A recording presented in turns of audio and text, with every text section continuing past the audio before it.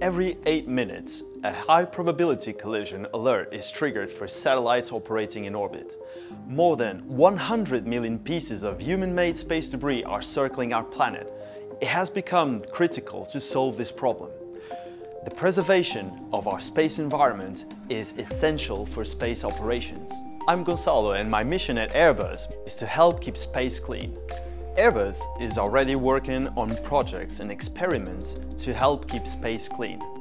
Like for example, the RemoveDEBRIS, the first ever in-orbit test of debris removal technologies.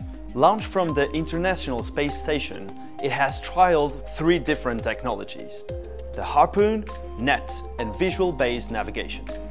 The Harpoon has been used to capture a dummy target at one and a half meters the net, which was used to capture a free-floating CubeSat. And finally, the vision-based navigation experiment used laser and visual sensors to track the CubeSat in orbit. Our next experiment is the detumbling device. This spinning wheel helps align the satellite with the Earth's magnetic field to help better control satellites in low Earth orbit. This enables them to be grappled and deorbited at the end of life. So why are we doing this?